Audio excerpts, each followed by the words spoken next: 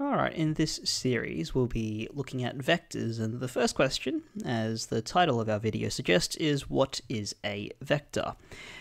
But before we head into that, I want you to imagine you're at some kind of social event. If you're uh, not like me, you might not need to use your imagination that much for that, but pretend that this is me and someone comes up and a question we normally ask is uh, what do you do during the week what do you what do you do and so i might say oh, i'm, a, I'm a teacher and um, we might make a conversation or have some stories about what that involves and um, so on and so forth.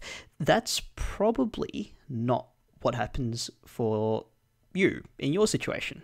Right? I don't think it works this way. I don't think someone would come up and be like, hey, what do you do during the week?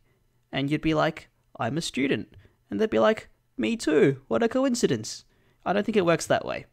Right? Because it would seem that being a student isn't the most meaningful thing for someone uh, in your context. Well, everyone is, right? What's more important is maybe you ask a question like, you know, what school do you go to? What's that like for you? And and it's more about uh, what space you live and work in rather than just your identity there. Okay, now hold on to that thought as we ask this question uh, what is a vector? Because to call something a vector in maths is a bit like calling yourself a student. I guess it is somewhat meaningful, but that meaning is only fully developed when you look further into what space you're living and working inside. Okay, so in our course, we will often write our vectors like this. Um, I'll tell you why later. A couple of numbers stacked on top of each other in brackets, and so this would be the vector 2, 1. Okay, don't say 2 over 1, that's like a fraction, but this is just the vector 2, 1 over here. Okay, for us, it will mean this. We uh, go to a coordinate axis um, and we draw an arrow that means to move two steps to the right and one step up.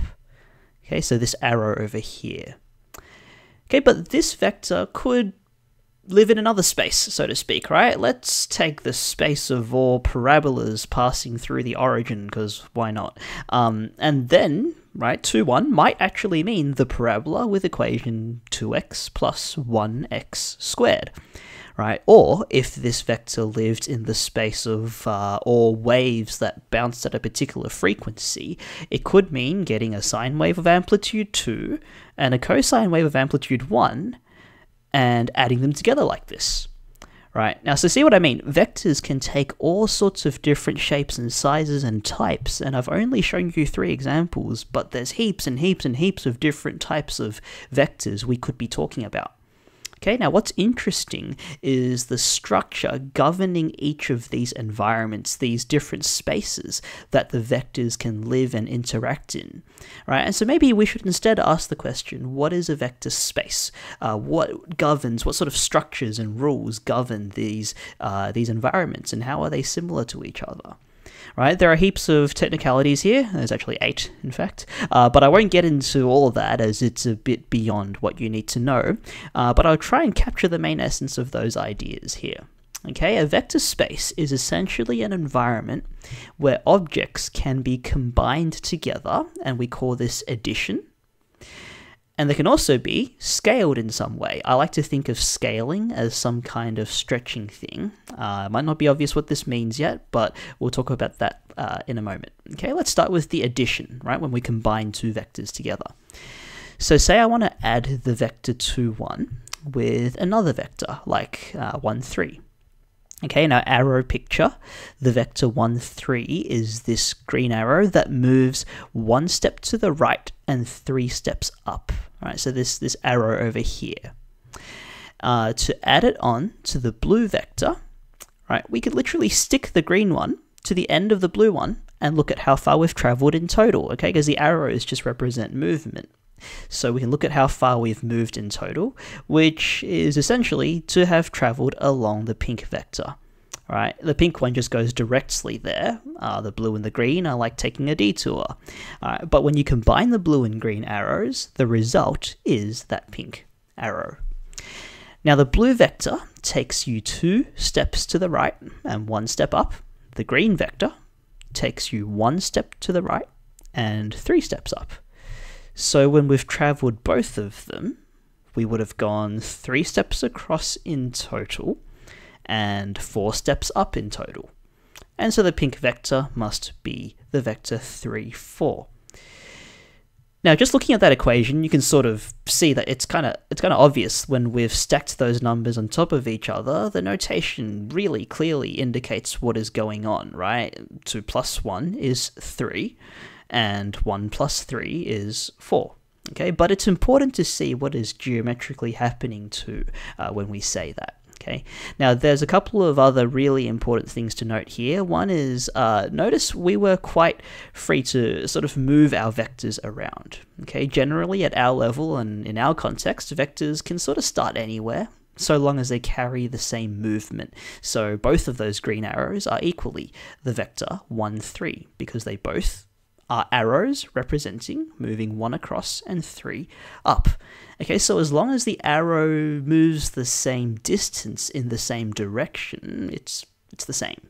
Okay, and that's why we could just stick the green vector to the end of the blue one to visualize combining them like that, that addition. Okay. All right, one more thing before we move on. Uh, we could, of course, have added them the other way and we'd expect to get the same answer. So we could have stuck the blue vector onto the end of the green one instead. And would, of course, get the same result. So actually, adding two vectors in this space, if you look at what shape we've created there, it naturally produces uh, the structure of parallelograms and we'll see towards the end of the topic that this idea can be used as a really powerful tool to actually prove a lot of things about you know parallelograms and you know, rhombuses and other geometric things that might be quite difficult to prove otherwise. Okay, but this sort of combining or adding could, be done for other vector spaces on the side as well. So, um, say for the quadratics on the left, the vector 1, 3 could well represent the parabola with equation uh, 1x plus 3x squared. Right, then addition can be done in the usual sense, and it gives you 3x plus 4x squared. Okay, that's adding vectors as well, right? Uh, likewise, for the waves on the right, the vector 1, 3 could represent some sine wave with amplitude 1, and a cosine wave with amplitude 3, giving you this beast, and then we could add the blue and green waves to give you that pink one there. Okay, that's actually how all sound is produced. It's it's just a combination of different frequencies, and uh, look, I won't get into that now, but it's quite interesting. Okay. All right, so that's the first thing you can do in all types of vectors in all vector spaces. There's always a sense in which you can add vectors together. Okay. All right, so return to our original vector to 1 here. Right, the other thing that we can do to vectors uh, is to scale them, right? And again, what I like to think of is sort of uh, stretching a vector or multiplying the vector by a number. So say this orange 2 here. This would have the effect of stretching the blue arrow to double its length without changing which way it points.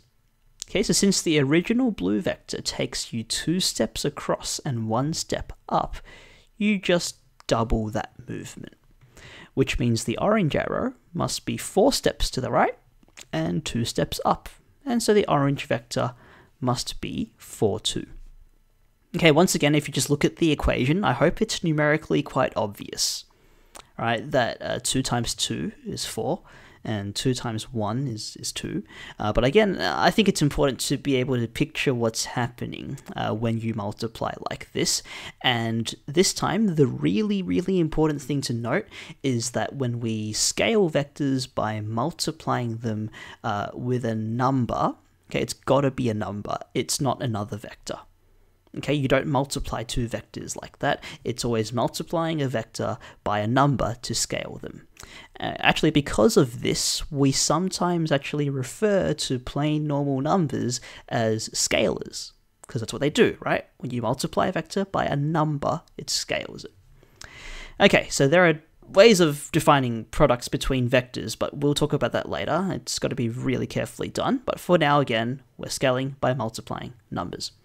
Okay, so what might this look like in different vector spaces? Well, for the quadratics on the left, it would just be to algebraically multiply everything by 2, so in brackets like that. And our usual expansion would just give us 4x plus 2x squared.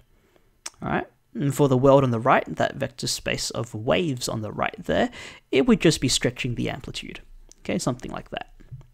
All right, now for the rest of this topic, don't be scared about all these different spaces. For the rest of this topic, we'll pretty much look exclusively at the vector space of those arrows in the middle there. Okay, I might have noticed I've spent most of my time talking about those ones, uh, but do keep in mind, right, that these structures of being able to add and to scale, right, that structure uh, would apply in other contexts as well. And recognizing these structures when you do things like differential equations or recurrence equations or even solutions to uh, simple harmonic motion problems, um, it'll help make sense of a lot of things you'll come across later if this idea of a vector space structure is still somewhere in your head. Okay? All right, but let's recap and focus back on the arrows. This is the part we actually have to know in our course. Uh, we can think of each vector, like 2, 1, as a combination of horizontal and vertical movements. So this would be the arrow taking you two steps to the right and one step up. Okay, then two things can happen inside a vector space. Uh, first, you can say add the blue vector with another vector, like our green 1, 3 guy, by sticking one of them to the end of the other one and seeing where that takes you in total. Okay, where have you traveled? If you travel along both vectors, it's like the same as traveling along that pink one here, and so the pink one is the sum of those two blue and green vectors. Numerically, it's really easy. You just add each component. So 2 plus 1 is 3, 1 plus 3 is 4. It doesn't matter which way you do it, of course, and if you do it the other way, you form a parallelogram, okay, which is something we're going to use a lot to prove geometry stuff further down the track. Okay, then the second thing was you can scale a vector by multiplying it with a number. Not another vector, but a number. This just stretches the length of the vector without changing its direction. Look, unless you multiply it by a negative, at which point it flips around. Um, but then stretching by 2 doubles the length and it becomes the orange vector there. Okay, numerically, it's just multiplying each component. So 2 times 2 is 4, 2 times 1 is 2. And again, if you're scaling by a negative, it might flip the direction, but it really still can be thought of as the same direction, you're just walking backwards. Okay, we can think a bit like that in math sometimes. Okay, so that's all for this one. Thanks for watching. I'll see you around.